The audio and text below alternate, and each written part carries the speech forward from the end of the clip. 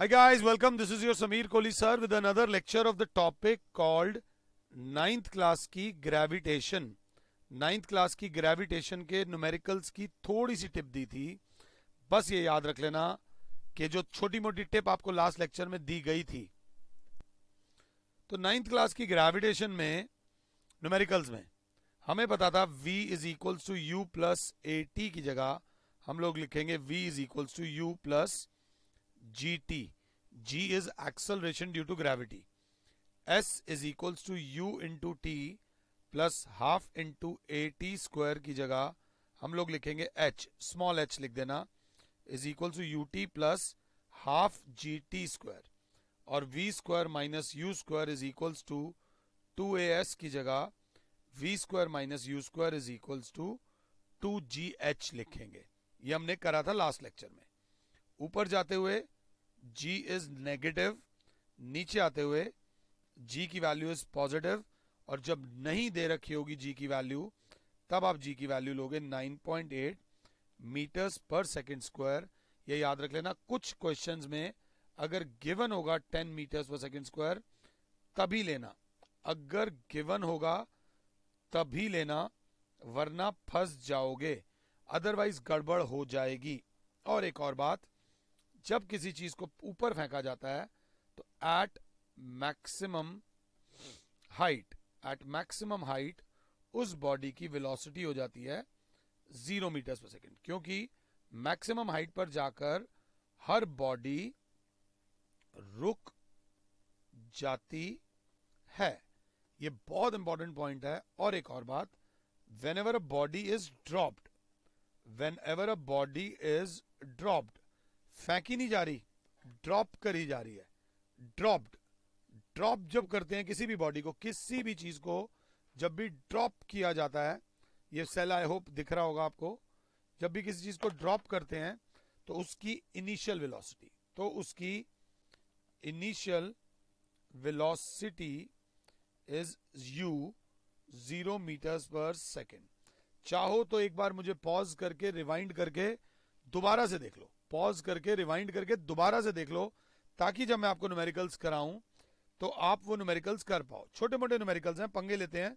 वो बोलते हैं stone falls from a building a stone falls from a building and reaches ground 2.5 seconds later how high is the building? How high is the building? और bracket में दिया हुआ है, g is equals to 9.8 metres पर second square सबसे पहली चीज़ जो मैं बोलूँगा एज ए टीचर जो तुम्हें मेरी माननी चाहिए बात क्वेश्चन को देखो और मुझे दो मिनट के लिए पॉज कर दो। अपना दिमाग लगाओ, अपना दिमाग। किसी के चक्कर में मत पड़ो। यूज़ योर ओन ब्रेन और अपना आंसर लाओ और अपने माता पिता को बताओ, देखो हमारा आंसर ठीक आ गया। अब, अगर आपने मुझे दो मिनट पॉज किया था तो मैं आपकी बहुत रिस्पेक्ट करता हूँ। अब इसके बाद स्टोन फॉल्स फॉल्स मतलब गिरा। फेंका नहीं, गिरा। फेंका नहीं, गिरा मतलब u is equals to zero metres per second falls from a building and reaches the ground 2.5 seconds later time हो गया 2.5 seconds later how high is the building H मांगा गया है how high is the building और G की value दे रखी है 9.8 metres पर सेकेंड स्क्वायर और क्योंकि बॉडी नीचे की तरफ़ गिर रही है तो अथॉरिटी से यहाँ पर प्लस 9.8 मीटर्स पर सेकेंड स्क्वायर लिखो और फिर मुझे 30 सेकेंड्स के लिए पॉज कर दो और खुद से करो। देखो कौन सी इक्वेशन लगेगी। हमें एच निकालना है। v is equal to u plus g t v square minus u square is equal to two g h और h is equal to u t plus half g t square ज़िंदगी में यह ज़रूर पता होना चाहिए कि क्या नहीं करना। जब हमें यह पता चल जाता है क्या नहीं करना तो हम बहुत सारी परेशानियों से पीछा छुड़वा लेते हैं। तो क्लास बोलेगी, सर, ये तो नहीं करना क्योंकि एच निकालना है। इन दोनों में हम कंफ्यूज हैं। ये वाली लगाऊँ या ये वाली लगाऊँ? तो मैंने कहा एच भी नहीं दे रखा और वी भी नहीं दे रखा तो ये भी नहीं लगेगी। कोई भी ऐसी इक्वेशन जिसमें दो चीज़ें ना गिवन हो, वो कभी भी नहीं लगेगी। ये बात याद रख लेना। अब बचा गया एच एच हमने निकालना है। U u is zero into two point five plus half into g is nine point eight into time is two point five का whole square zero into anything is equals to zero h is equals to half into nine point eight into two point five into two point five is six point two five सारा game अब end में आके रह जाता है आपकी calculations पे do the calculations and find the final answer ये से कट जाएगा। 4.9 h is equals to 4.9 point nine into six point two five metres ये आपका फाइनल आंसर होगा। अगर आपने ये किया है तो मैं आपकी बहुत बहुत बहुत तारीफ़ करता हूँ। ये क्वेश्चंस मैं चाहता तो पहले से ही लिख के आ सकता था। नहीं, मैं पहले से ही लिख के आ सकता था। नहीं, मैंने क्यों नहीं लिखे? मैंने कहा, ताकि जब मैं क्वेश्चन लिखूं, तब आप इनको समझ पाओ। A stone a stone is thrown vertically upwards ball को ऊपर फेंको, पूरी जान लगा के। Upwards with a speed of 20 meters per second. How high? How high will it go before it begins to fall? कितना ऊपर तक जाएगा गिरने वापस आने से पहले और यहाँ पर थोड़ी सी उन्होंने मदद कर रखी है g is equals to 10 metres पर सेकेंड स्क्वायर दे रखा है। जी दे रखा है टेन मीटर्स पर सेकेंड स्क्वायर तो बिल्कुल चिल करेंगे। फिर वही गेम 90 सेकेंड्स के लिए मुझे पॉज कर दो। 90 सेकेंड के लिए मुझे रोक दो और एक बार खुद से करो। एक बार खुद से ट्राई करो अच्छा लगेगा, मज़ा आएगा। तो बच्चे ने कहा, एक स्टोन को ऊपर फेंका गया है। विद स्पीड ऑफ़ 20 मीटर्स पर सेकेंड तो यू इज़ 20 मीटर्स पर सेकेंड इतना हमें पता है कि मैक्सिमम हाइट पर v is equals to zero metres पर सेकेंड हो जाता है क्योंकि मैक्सिमम हाइट पर बॉडी रुक जाती है और फिर नीचे आना शुरू करती है। तो इस एक लाइन में ही दो लाइंस दे रखी थी। यू दे रखा था। How high it will go before it begins to fall how high में वो हमसे मांग रहे हैं कि भैया एच निकालो। भैया एच निकालो। तो एच इज़ इक्वल्स टू अभी अभी तो करा है u t plus half g t square तो बच्चा बोलेगा, यहाँ पे टाइम नहीं दे रखा। तो यहाँ पर जी यहाँ पर जी जो लोगे, वो लोगे minus ten metres per second square क्यों? क्योंकि बॉडी ऊपर जा रही है बेटा। बॉडी नीचे नहीं आ रही बॉडी ऊपर जा रही है। तो यहाँ पर डायरेक्टली बच्चा बोलेगा v square minus u square is equals to two into g into h v square is zero square minus twenty का square is equal to two into minus ten into h class बोलेगी minus बाहर है, चार सौ is equals to minus twenty h minus से minus गया h is equals to चार सौ अपॉन बीस तो h is equals to height twenty twenty के आगे मीटर ज़रूर लगाना। The body will go to a height of 20 meters before it begins to fall. अगर मैं गलत नहीं हूँ तो। माता रानी का नाम लो और तरीका ऐसे ही जाएगा। अगर समझ आया है तो। इसके बाद एक और न्यूमेरिकल वो कहते हैं when a cricket ball when a cricket ball is thrown is thrown vertically upwards. It reaches a maximum height of 5 meters. It reaches a maximum height of 5 meters. A what was the initial speed of the ball B how much time how much time is taken by the ball before how much time is taken by the ball to reach the highest point. आराम से मुझे इस बार दो minute के लिए pause करना, दो minute के लिए पॉज करना और ये वाला न्यूमेरिकल खुद से ट्राई करना। ये न्यूमेरिकल बेसिक है। एक आधा आएगा और एक आधा आना भी चाहिए।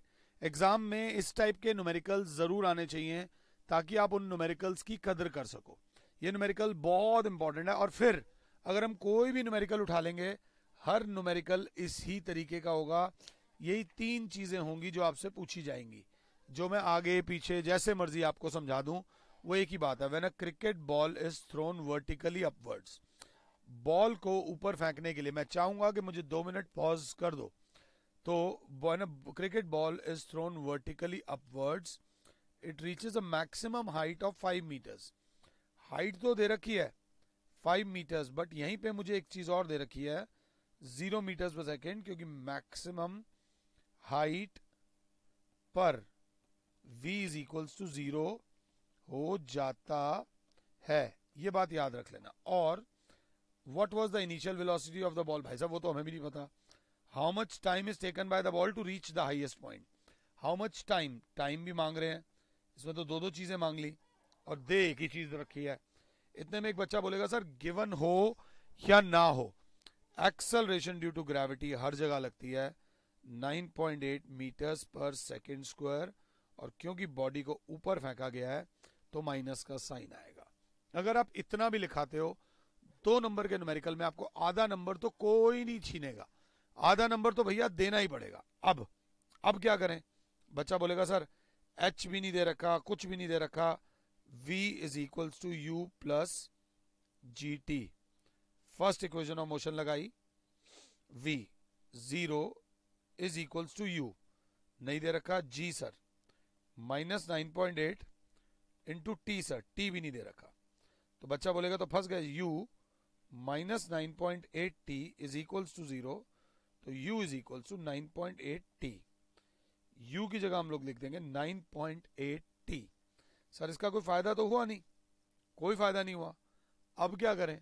यहाँ तो फंस गए।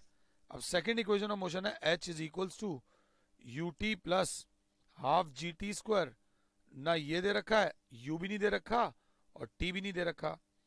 V square minus u square is equals to two g h बच्चा बोलेगा, सर यू नहीं दे रखा, ये दिया हुआ है, ये दिया हुआ है, ये दिया हुआ है। तो पहले ही थर्ड इक्वेशन ऑफ़ मोशन लगा लेते, कोई बात नहीं। नहीं लगी, कोई बात नहीं। बट क्यों? गलती गलती सीखो बस। तो बच्चा बोलेगा v square minus u square is equals to two g h zero square minus u square is equal to two into minus nine point eight into h is five minus u square is equals to minus nine point eight into ten तो minus से minus cut जाएगा u square is equals to ninety eight decimal हटाओगे तो u बराबर हो जाएगा under root में 98 u बराबर हो जाएगा अंडर रूट में seven into seven into two u बराबर हो जाएगा seven root two metres per second अब नाइन्थ क्लास का बच्चा ये बोले कि मुझे रूट टू नहीं पता तो यू बराबर है सेवन इंटू रूट टू की वैल्यू होती है 1.41 1.4142 रियल नंबर्स हमने पढ़ा हुआ है। तो आप रूट टू की वैल्यू डालोगे 1.41 यू इज़ इक्वल्स हो जाएगा seven into one point four one metres per second. अब जैसे ये यू डाला, बच्चा बोलेगा 9.8 टी बराबर था यू तो 9.8 टी बराबर है यू के यू की वैल्यू आई है सेवन इंटू वन तो टी आ जाएगा seven into one point four upon nine point eight ये डेसिमल से डेसिमल काट देना और आपका टाइम की वैल्यू भी आ जाएगी। ये न्यूमेरिकल्स इसी प्रकार के होते हैं। अगर इन न्यूमेरिकल्स को पकड़ लोगे तो दुनिया में कोई भी ताकत तुम्हें रोक नहीं सकती। ये याद रख लेना, अगर साथ हो तो। मैं एक आधा न्यूमेरिकल और ढूंढ रहा हूँ। अगर मैं समझा पाऊँ तो। ध्यान से। मास वेट देख रखा है। स्टोन फॉल्स दे रखा है। A piece of stone is thrown vertically upwards a piece of throw stone is thrown vertically upwards it reaches the maximum height in 3 seconds एक वर्ड उन्होंने बोल दिया मैक्सिमम हाइट इसका मतलब समझना मैक्सिमम हाइट का मतलब हो गया v is equal to zero metre per second in three seconds in three seconds if the acceleration of the stone be acceleration of the stone is 9.8 meters per second square मगर यहाँ minus आएगा क्योंकि thrown vertically upwards है directed towards the ground calculate the initial velocity of the stone with which it is thrown upwards अब इस बार मैंने question नहीं पढ़ा, लिखा। मैंने क्वेश्चन पढ़ा। अगर मेरी पढ़ने की चीज़ आपको समझ आई है तो subscribe to this channel this is your channel यहाँ पर बच्चा बोलेगा, sir, v is equal to u plus g t तो v zero is equal to u u plus minus nine point eight into three zero is equal to u minus eight three ज़ा twenty four to twenty seven point four तो u is equal to twenty seven point four metres per second is the initial velocity ninth या सत्ताईस? नहीं twenty nine आएगा। Twenty nine feeling आ रही थी कि मैंने गलत करा है। Twenty nine point four metres per second numericals करने ज़रूरी हैं। फिजिक्स का जो मेन आगे अब ग्यारहवीं, बारहवीं में बच्चों को फिजिक्स में दिक्कत कहाँ आती है? ग्यारहवीं, बारहवीं में, ग्यारहवीं से पहले टीचर थ्योरी तो करा देता है। थ्योरी सबको समझ भी आ जाती है बट सिर्फ़ थ्योरी इज़ लाइक चावल। बहुत अच्छे चावल बना दिए, खा के पेट भी भर जाएगा, ले देकर पास भी हो जाओगे बट सिर्फ़ चावल से जीवन नहीं चलेगा। तो अगर इलेवन ट्वेल्थ में फिजिक्स लेनी है तो पहले एक बात याद रख लेना, आपकी थ्योरी स्ट्रांग होनी चाहिए। थ्योरी मीन्स कॉन्सेप्ट स्ट्रांग होने चाहिए। कॉन्सेप्ट स्ट्रांग होने के बाद फिर आपको पता होना चाहिए कितनी डेरिवेशन है।